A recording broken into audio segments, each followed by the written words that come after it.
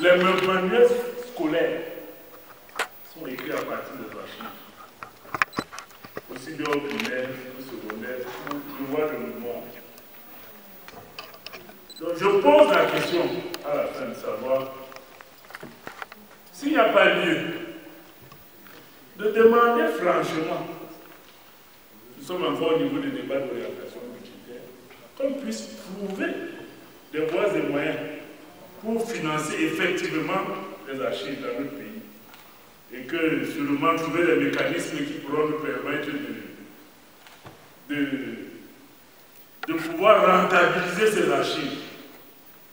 Vraiment, je ne souhaiterais pas, à mon humble avis, que ce soit un cas marginal, c'est-à-dire qu'on essaie de voir dans quelle mesure, parce que c'est une voie très importante. Je vous remercie.